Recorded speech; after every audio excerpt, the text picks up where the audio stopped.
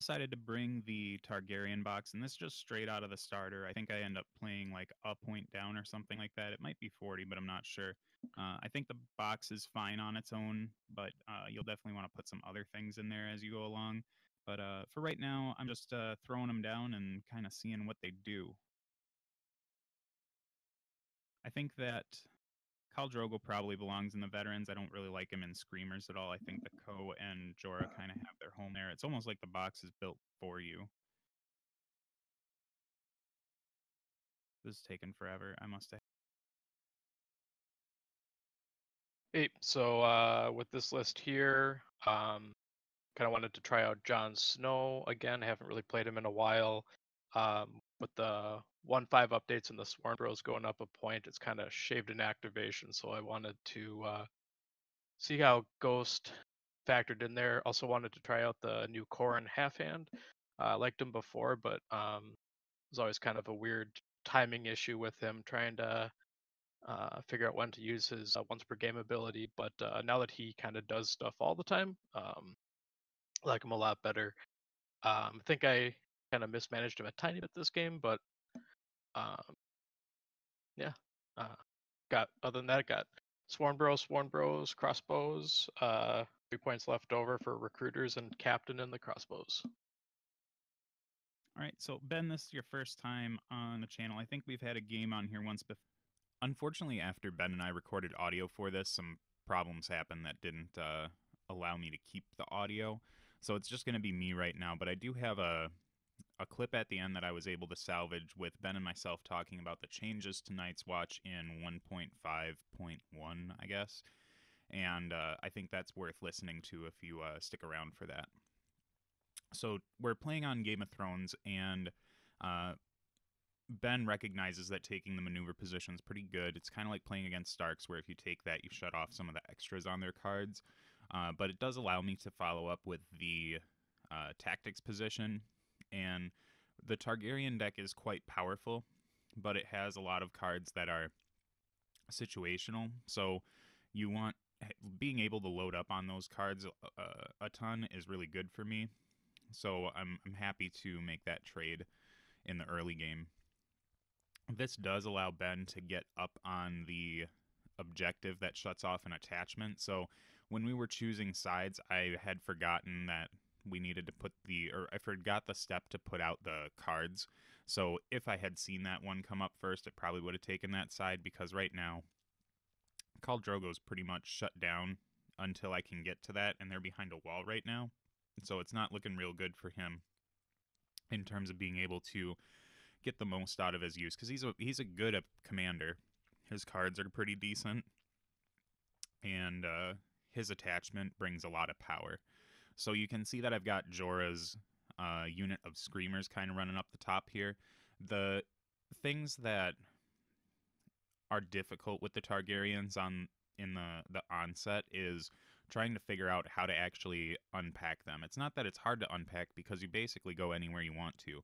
But right now I've got a really weak unit that's, you know, it's hard hitting, but it's kind of it's going towards two really combat specialized units. You know, we've got uh two units of Sworn Brothers at the top there, and it looks like there's a rank missing, but I think uh, Ben was painting those models, so we just put little wound markers in there to to make up for them. But to get back to what I was saying, it's almost like uh, I think if you've watched any of my Free Folk battle reports, you'll notice that I have a real problem with cave dwellers in that just because they're fast, I connect with them early, and then there isn't a whole lot behind them to help them out. Uh, that's basically like the entire Targaryen faction right now, at least the Dothraki stuff, right? Uh, so I end up like Jorah's probably way too close to really for comfort for the most part, just because with having a six inch maneuver at the beginning, as long as you get within six inches, seven with Jorah, you're still getting there on on on a one. So there's no reason for me to be this close to any of his stuff. I think what uh, probably would have been better for me was to split my stuff up really far and try to draw out all of Ben's units. But the problems that I can see with that is towards the bottom of the screen, or, or Ben's bottommost unit, is uh, a unit of crossbowmen, so they can kind of deal with some of the problems or that I could create by spreading out a lot. So I don't want to section my army off that much, and I do have like the outriders going against the um, the crossbowmen right now, so that's probably not the greatest idea ever. Uh, two shooting units kind of going up against each other isn't really a good place to be. Um, one of the other things that I need to mention is I need to apologize for the table angle for the camera on this one. We're recording remotely at Noble Knight Games in Fitchburg, Wisconsin, and uh, I had a very portable tripod with me that I wanted to try out just because it's a lot less cumbersome than bringing, you know, my six foot extends to seven feet, I think, uh, tripod. Um, and uh, it, it just doesn't capture the table like the other ones do. So you'll see Ghost kind of pop his head out of the corner here, and uh, he's uh, he's trying to stay outside of the threat range of the Outriders. But I think we did some miscalculations in terms of the the threat range for them because it's a it's about nine inches when they shoot for movement, and then it goes up to 15 inches. So I think we we kind of re measure that to make sure that Ghost gets where he needs to be because I think the Outriders, if they get one good shot into Ghost, uh, then it's it's lights out for that dog. Um, the other part about this game that is a little funky is that we're kind of like straddling the the 1.5 to 1.5.1 rule change.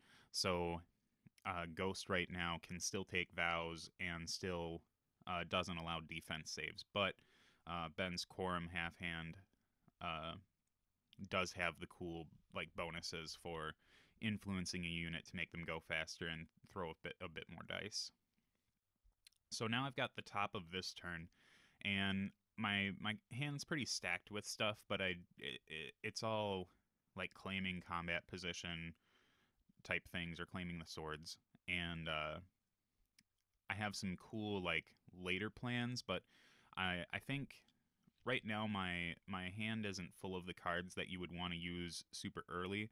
Uh, so it's kind of like uh, the Baratheon deck in that sense. Not that they share a lot of the same triggers, but they do have a lot of like their their cards are kind of split into that early game, late game heat. And uh, right now, I'm holding a lot of late game heat and not so much that early stuff like uh, um, Overrun or anything like that but I think I'm hemming and hawing on how to unpack everything because I've got Khal Drogo sitting in the back, and I don't want to give up a charge on any of that. And this is kind of the, the problem that I had talked about earlier, where Jorah and them are just far too close because they don't they don't need to be this close in order to connect. So I really would have liked to uh, to have Khal Drogo go first, so I could get up further and shoot into the side. But I need Daenerys's influence in order to do that. So I take a really risky move here, and I'm I want to get Khal Drogo f- uh, freed up. So maybe I can charge the side with the screamers and get enough wounds off of the Night's Watch to turn off that objective or contest it so they're no longer controlling it. And then that'll let him do some more work to the other unit that they're sitting by. But it does open up my side to the other Sworn Brothers. And uh, with crit blow and sundering and all that. I mean, no matter what, if I'm on the side, they're getting me on a six anyhow. But this is some risky business, and Ben ends up rolling pretty decent on his armor saves, and I believe he passes the morale check on this one. So Jorah's screamers, uh, unfortunately, don't do enough to really turn off the objective. So that's kind of a a bad activation for me up there, and uh, losing a lot of that Khal efficiency is really going to burn later on. But now Ben's left up to some choices where he can either charge in with the uh, Sworn Brothers that are uh, hanging out on the side of Jorah, or he can just activate his other Sworn Brother unit. There's there's tons of options here, and this is him measuring uh, Jon Snow is in that veterans unit in the middle. So I, I, I know that I usually call out the deployment, but with the way that the table was set up, it just looked really strange. So um, I think now you should know where all of everything is for for Ben's army. Jon Snow and the vets are in the middle, and then the two Sworn brothers are on the edge there. So Ben opts to take the combat position to just to not give it to me. So he's giving up the charge on that other unit. So there's some some some opportunities I have there. But this gets him some extra attacks that he might not have had and stops me from double attacking them. And Jorah's unit loses a couple wounds. Uh, I think we lose four or five in total, so it's not looking super hot for them. The Sworn Brothers didn't blow up their rolls or anything like that, but it still hurt quite a bit.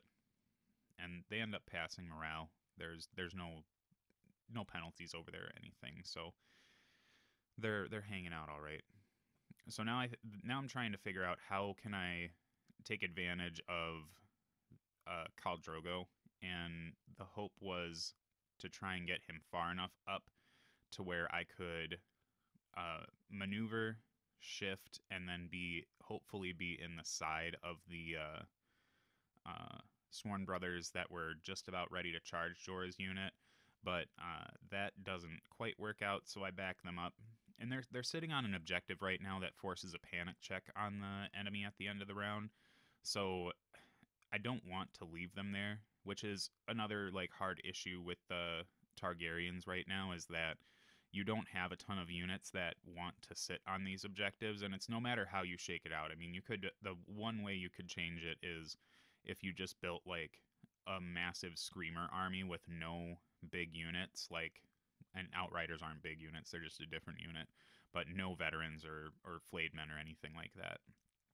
And then maybe you'd have a better time on Game of Thrones because you have so many bodies, so you just don't care. But with this list, I really need to make up the deficit in scoring that I'm going to have by either stacking objectives towards the middle of the table, which I think I've done an all right job of, or just running a ton of extra activations that you don't care too much about. So I think Jon Snow is looking at possibly trying to long bomb a charge. The the outriders, if they get tied up in combat, they don't do a whole lot. And if you get into this like loop of retreating all the time when that maneuver position isn't available to you, uh, things get screwbally. So I need to back up a little bit. I think that Khal Drogo positioning, it looks a little weird, but I used Daenerys to get them to where they're at, and I think, uh, yeah, I'm not, I'm not sure exactly what my thought pattern was here. I think I said that I was fine charging and shooting over the wall on the side of the vets because I was going to be mitigating the bonus on their side. And I was just hoping to get a big play next turn by uh, running into those guys and trying to get them off of uh, the objective that's shutting down Khal Drogo.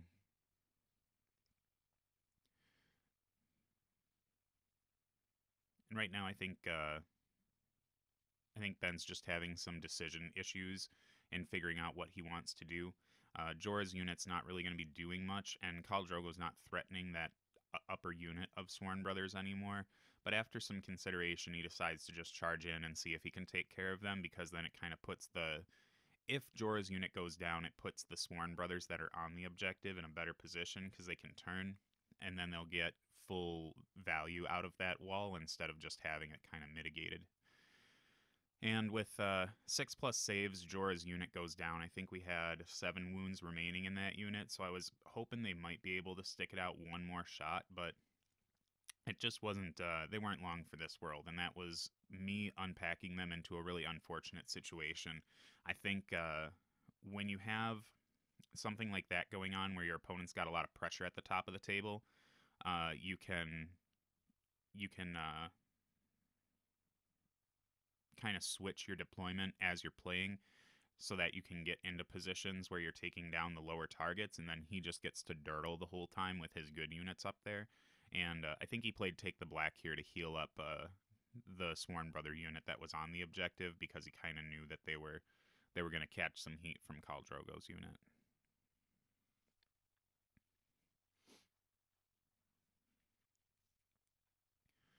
So I think my plans have pretty much fallen apart horribly now.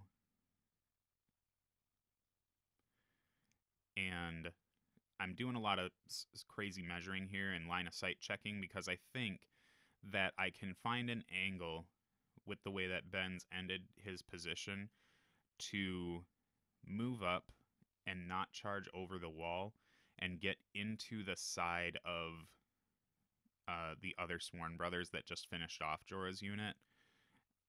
But I think after uh, screwing around with it and trying to make sure that the measurement's fine, that the only way that I can get to the side on them is by charging over the wall. So I end up opting for that line of play because then it gets me out of the line of sight of the Sworn brothers that are on that objective, and the and I don't really like lose any.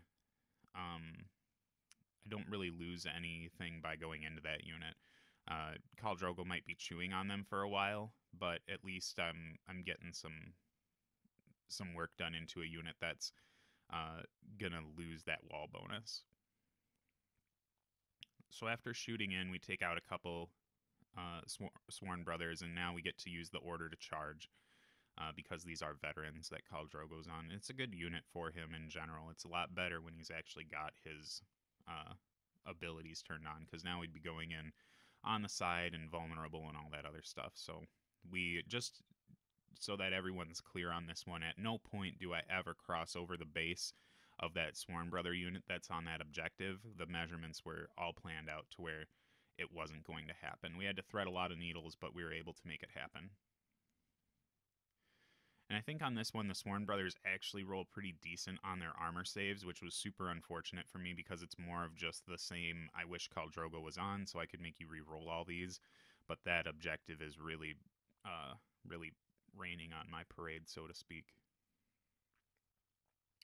So Khal Drogo just does not get the work done that he wants to, and I think this is uh um he, I think he played one of the Jon Snow cards here. At least I think he did. I'm not sure what which one got played here, but Ghost goes in and tries to perpetually tie up the Outriders for forever. Uh, so I end up failing my morale test by quite a bit. So Ghost goes in and does something like uh, four extra four wounds total, which is is no bueno for me. I'm not enjoying that at all. Um,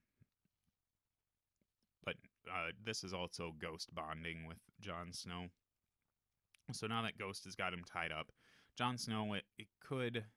Um, oh, so this is what it was. It was uh for the watch that he played at the beginning of Jon's activation, then Chain activated into Ghost to have Ghost go first. So he was looking for a four, I believe, on that charge, and ends up coming up just a, a, a one or two short.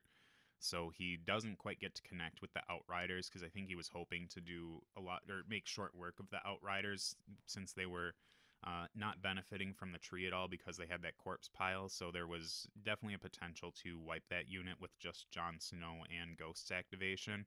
But it ends up not quite working out, and uh, now the Screamers have got a decent charge when they want it. But I don't. I'm not in a big hurry to do that, so I end up activating Illyrio and getting him on the tactics board or the tactics position, and uh, I think I opt to vulnerable Jon Snow's unit because I think the Screamers can do a lot of work to them. They've got Sundering because I've got the Ko on them, and uh, with vulnerable, it should make it so I could take out quite a few of Jon Snow's units. I think afterwards, I opt to change that to a weaken token because I have an Outrider Ko on the Outriders as well. So that allows me to put the vulnerable token on them whenever I want to. So I don't really need the vulnerable token on them. And I think the crossbows, they they at first he was thinking they would be pretty safe if he marched up there, but the outrider or not the outriders, the uh, screamers uh, have the potential to do enough damage to Jon Snow's unit where it's hard for him to recover. So he opts to play it a little bit more safe with them and maneuver them into a position and pivot them so that uh, they can basically cover the field with their shots. Or at least if, if things work out in a certain way, they can cover the field with their shots.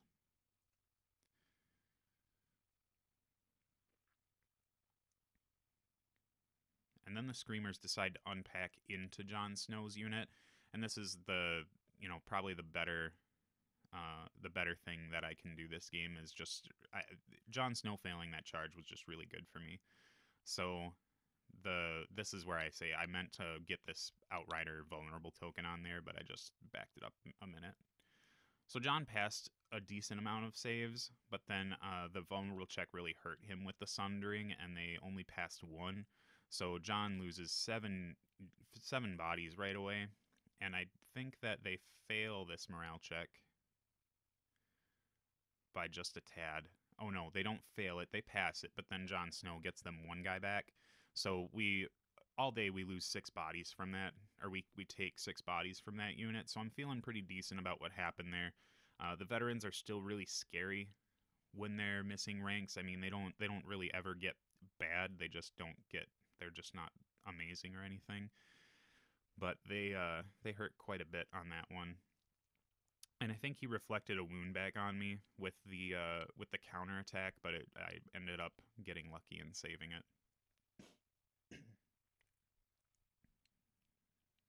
So going into the rest of Ben's business, I think he's got um I think he takes the combat. Maybe oh no. I'm not sure what he was doing here. But we get Bowen down on the coin. This gets some some units back into Jon Snow's uh or get some bodies back into Jon Snow's unit. And this is like I know that most of the lists that I've been building lately have been containing two NCUs, and uh, I like that for having a lot of business on the table. But there are things that I end up missing out on, like some last minute crown zaps that can help out, or the if if your opponent isn't being attrition very hard and you are, then they usually don't prioritize taking the money bag p- position or the coin position. So uh, not having the third NCU to try and take one of those out and stop Jon Snow from healing back up isn't really the most uh, amazing feeling in the universe. Now, if we if we, we were playing Aemon, which Aemon, if he Aemon seems like he's only really great when he's taking that coin spot because his healing is not that great otherwise, unless you're really down a lot. But if that was in there, then that unit would pro would be full by now, and and that's just not a good place to be.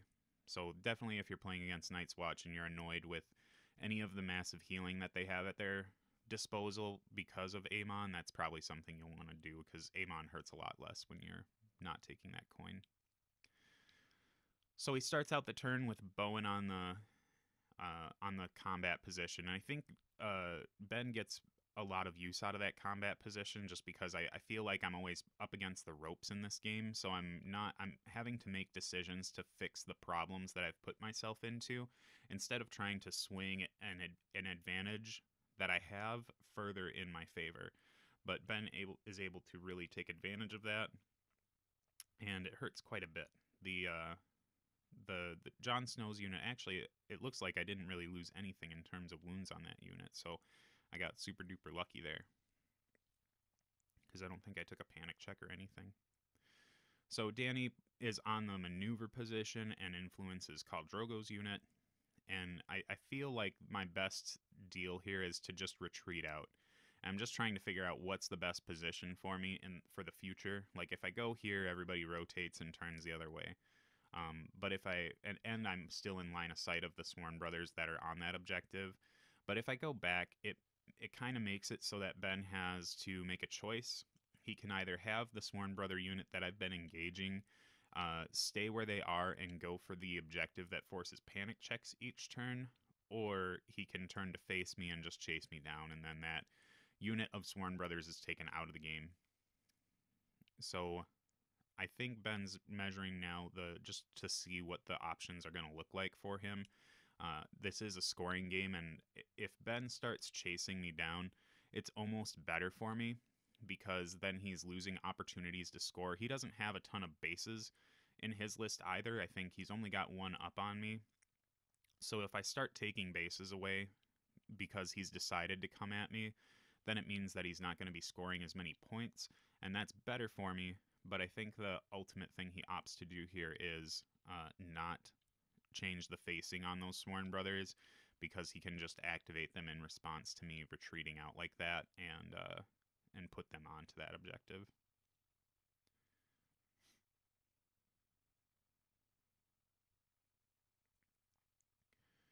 Which is what he needs to do right now because if he doesn't do that, then Khal Drogo gets to charge them in the back, and it's no good. So I force an activation. It's not the activation that I, or it's not the choice that I wanted him to make. I wanted him to turn around so he would charge me, even though pinning down Khal Drogo isn't the greatest thing in the universe. But uh, it's still not, it's still not terrible. So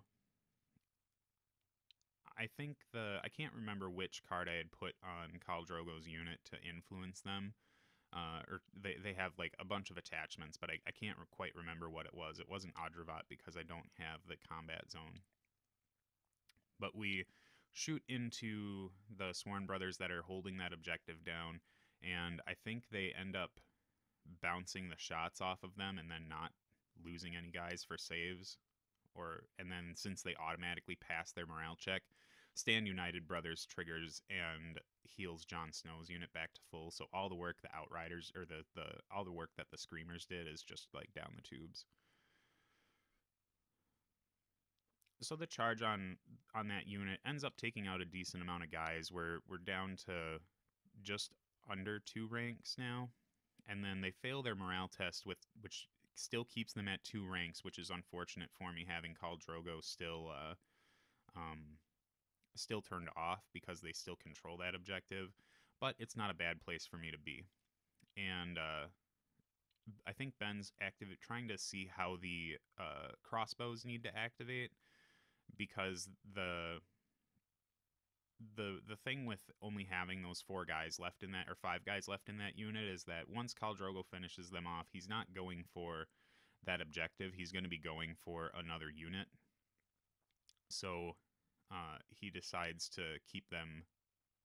he, he, I think he was trying to figure out how to go with them, and then opted to activate Ghost instead, and then trigger or do Ghost and Jon together, uh, which is fine for him. It's just because it, it means that uh, the Outriders. I, I honestly I don't think it matters if he if he bonds them or not. It's he's just doing it to do it if anything, it, it makes it so he doesn't drain activations. So here I use Illyrio's uh, ability to take the uh, banner off of Khal Drogo's unit and get them to go again to hope that they can do some work to the Sworn Swords. At least that's what I think I did. Yep, I take the activation off, activation banner off, and then uh, since he doesn't allow them to go immediately after he does that, uh, Ben sees that he needs to now get the Sworn Brothers turned around so that Khal Drogo's unit just doesn't delete them.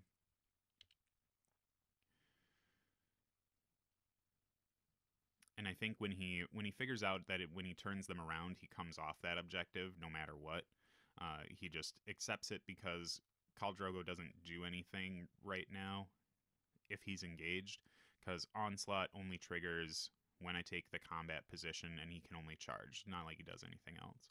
And then he only gives them sun or gives vulnerable out when they charge. So losing getting Khal Drogo's abilities back right now isn't the biggest deal in the universe.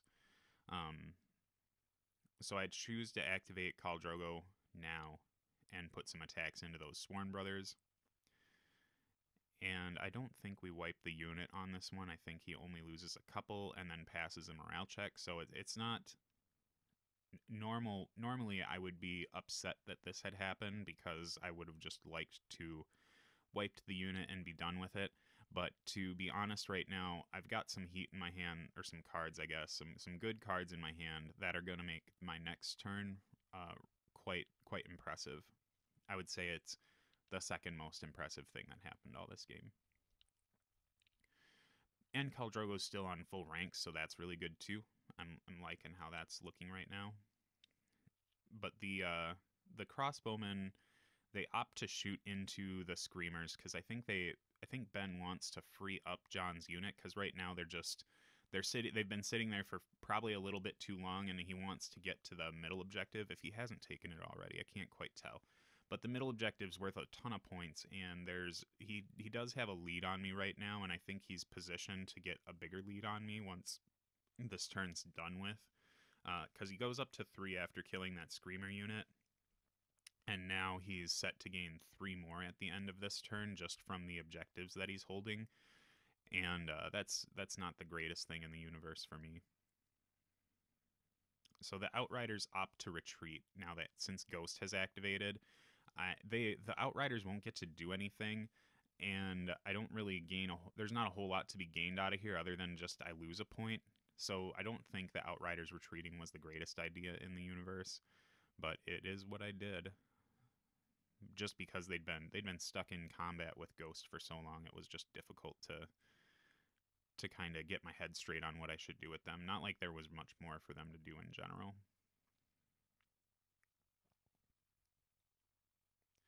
So that was the the panic check that had happened at the end of the turn because uh, he owns that top objective. The rest of these were the ones that the Outriders were sitting on healed D3 at the end of the turn, so that was another one where like maybe I should have just stayed on it so that Khal Drogo's unit could heal up a little bit. And then I don't remember what the one is at the very bottom of the screen. Maybe you can tell what it is from where you're sitting looking at it, but I, I can't right now. So I, this is where like I get to throw my thunder around. So uh, Dany influences Khal Drogo's unit, takes the combat zone, and chooses to play Adravat, which gives me Sundering and Critical Blow for the entire round with that unit. So now Khal Drogo is attacking into the Sworn Brother unit and has quite a bit of quite a bit of uh, combat prowess now, especially since there's only like five or six dudes left in that in that Sworn Brother unit. So Ben Ben ends up failing enough to leave a couple guys in there, which I'm not super stoked about. But then he rolls Snake Eyes on the on the panic check, which is huge for me because now I'm playing Overrun. And I get to pivot and then try and make a charge into the uh, basically wherever I really want to go. But I think I'm going for the crossbowmen here because I feel like they're a low they're low hanging enough in terms of stats to where I can uh, to where I can get at them and I, I'd stop myself because it's not an activation that I get to make, so I don't get to maneuver first. I, I I did catch that before I did it. It was just I was really excited about what was going on here. So with the influence, I roll a one, which would disorder me, but with Daenerys, she lets me re-roll the uh, lets me re-roll the uh, the charge. So I get in there with no uh, no problem. I, I mean, I don't have a I'm not disordered or anything. And since that unit's off the objective, I get to vulnerable the unit of crossbows. I think I play another card here, but I'm not exactly sure what it was that I played. Um, I'm yeah, I'm just not 100. The the Targaryen deck is still pretty new to me, so I don't exactly remember what it was that I played on them. So Khal Drogo hits with all of his attacks and gets a couple critical blows in there. So the um, the uh, crossbows are, are taken a lot of lot of damage here. Um, I think they end up not saving a single one, so that was 11 saves they had to make, and they unfortunately passed their panic check, which leaves them on the one uh, the one guy they have left, which I think might have been a Night's Watch recruiter. So uh, it could have been a super huge play for me to get me up to three points, which isn't the greatest position to be in, but taking out two combat activations from my opponent was kind of like a, a, a sweet little maybe I can rubber band this game. But Khal Drogo's still sitting there with the um, with the uh, the crossbows. Now it's important to know that Khal Drogo hasn't activated yet. He got those two big swings off of just uh, off of just the combat zone. So Adravat's a really great card when you can use it, especially in this type of scenario. Uh, it kind of shows some of the explosive power of veterans. As I, I think screamers can do this stuff too, but the veterans are a pretty decent unit. I don't know if they're quite worth the 10 points that they have, but I, it's really tough when you're not when you're not utilizing the the shoot and then charge. They don't feel like they're worth 10 points. And uh, this is Ghost coming back to bite me for being a dummy. Uh, I should have just stayed on the objective and tried to. Uh, I should have really been D3 healing back the Outrider unit so that Ghost just stays there forever until I decide to do something with him. But uh, Ghost gets to now pin down the Outriders again and stop me from scoring that zone or stop me from scoring that uh, that objective again. So now I think Jon Snow's kind of confused on what he wants to do. He's sitting on a pretty decent objective, but I think he's got a feeling that if he doesn't get into Khal Drogo's unit, then they're just going to kind of run the table. So he opts to uh, move them up. I think this might have been. I wanted to say that it was a now is watch or uh, not or watcher on the wall, but I didn't attack with anything to proc that out. So maybe this is just him uh, marching as part of their normal activation onto the objective. But I think he's drifting trays a lot. Like I think we both know where our ranges are going to take us, so it, it, it looks like in the onset like sloppy play. But I think we both do this where we, we kind of have the gist of where they're going to go, and we don't need to be exactly precise to get there because we know that the movement was legal. I think after a while, when you've played the game enough, you kind of get used to the way things are moving. I think in a tournament though, I'd probably be a little bit more, um, a little bit more tight on that because I don't want my opponent coming in with thinking that I'm screwing around with stuff when I'm just, I just feel like the movement is a little bit more fluid than what people give it credit for. So Khal Drogo finishes off the crossbow unit, and I decide to get further away from Jon Snow's unit because right now they're holding that objective. They're shutting me down. I don't have any more activations this turn, and Illyrio's already done what he can do with Khal Drogo, so I just kind of back him off into nowhere universe. and I don't know exactly where I need to put him now to try and get back in this because I don't. I think I'm at the point now where I don't. I don't think there's a way for me to get back into this game with the way that I only have. I only have two units left. Only one of them can really do anything at all, and we've got a couple turns left to play through and uh, and I just don't know if Khal Drogo's or if the Targaryens have got the the the activations left to uh, to really make a difference here in the way that the game's playing out. So now we got Bowen taking the maneuver to get Jon Snow a little closer to Khal Drogo's unit.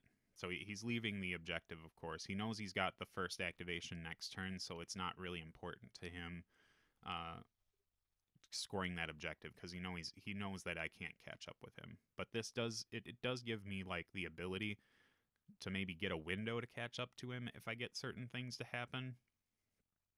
So maybe taking the objective wasn't the greatest. But Illyrio gets the the missive and I thought I cleverly put a token on Jon Snow to stop him from doing something, uh, but I didn't. So he took it off with the coin. So maybe it wasn't Jon's.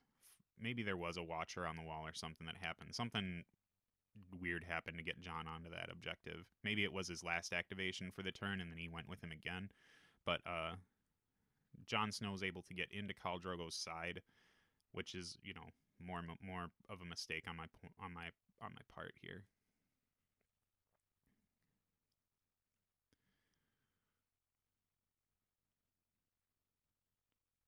But surprisingly, Khal Drogo for taking a charge on the side does all right and only loses one horse. And the vets have a decent morale, so they don't uh, they don't really lose anything else. Well, they, they don't fail their morale. So now we're we're headed into turn five. I take the panic check on the outriders, and they pass just fine, so that we don't have any problems there. And Khal Drogo gets his like dream moment cleared off of him with having all those uh, attachments and uh, and influences coming down on him. It was I th- feel like it was a fun activation. I think uh, it's the things that people will remember with the Targaryens is just kind of clubbing through a bunch of stuff. So I think Ben just drops a horn that wakes the sleeper on Ghost because again, this is where Ghost can still take vows. Um, and Jon Snow gets to swing into the Khal Drogo vets again on their side, which again still is I, it was just a, a horrible mistake on my part that I left these guys looking the way they were. I was kind of feeling like maybe the end of the game was already like predetermined, and uh, I just just decided to leave them like that. And they they they don't do as well as they did the last time, and end up failing enough saves to wipe the unit. So uh, Ben goes up to eight points, and I'm still sitting at three. So with my My lone outriders, I feel like there's only one thing I can do to save face in this game, and Daenerys is going to crown zap the dog for a minus two. And there's the snake eyes, which I think is probably the best moment in the game. Whenever you can crown zap a dog to death, it's the greatest thing in the world. But uh, the camera battery on this is about to die. Uh, Ben wins at the end of this game, but uh, make sure you stay tuned for our discussion on Night's Watch, which will happen right after this. So that was like guys on that one. that was moment number number one of the game. So like I had two things go nice for me. It was just a, a little too late. Yeah, the the real kind of gut punch about that too is I I was sitting on um it shall not end until my death. I had that in my hand, and I was just so awestruck by the snake eyes. I just really forgot to uh to play it there. Um, yep, and I, and I think what happened now is the after celebrating the death of Ghost, which I am so happy that this didn't happen while that was going on, but the camera battery died and I didn't notice it. But there wasn't much more to write about in that one. I think you ended up uh, just getting Jon on the uh, on the other objective and then ending your turn to score out. Yeah, that was all that was really left to do in that game is just uh, not let it go another round. I think I took the maneuver um, and just yeah, moved him right up on there and so ended it up. I think I think the the ice and fire community for the most part has gotten past the the shock of the uh the Night's Watch changes. How do you feel about them as a faction right now? I know that some people are still trying to live those glory days of running like three or four units of Sworn Brothers and then just like not taking a ton. But I know with you, you like to experiment a lot with your lists. How are you mm-hmm. finding Night's Watch in general right now? Um, uh, you know, I, the the the change in points, in my opinion, I mean, it basically shaves an activation off of each one of your lists. Um, with the combination of Bowen and the Sworn Brothers. Um, I still like them. I think they've gotten a lot of quality of life upgrades. Um, like Qhorin, I think is really good now because uh, he does stuff in the interim between him you know, jumping off a cliff. Um, they've been my main faction now for a little while. I'm preparing them for Adepticon here, so I've been I've been jamming a lot of them, just kind of trying out different things. Um, I think they're in a good place. They, you know, are an elite army. They just they they do a really good job at every aspect of the game. Um, they struggle a little bit, I think, against um, a couple of the Stark lists and the Free Folk a little bit just because they get out activated so hard. Um, but uh, yeah, I think their their core identity hasn't really changed. Um, I don't think you can. It's almost like their core identities become a little more reinforced. Yeah, yeah, and the way that the point shakeout too, I found, um, because I was experimenting with like lists where you just don't take attachments, and it would let you uh, sneak in another unit of Sworn Brothers in a lot of instances.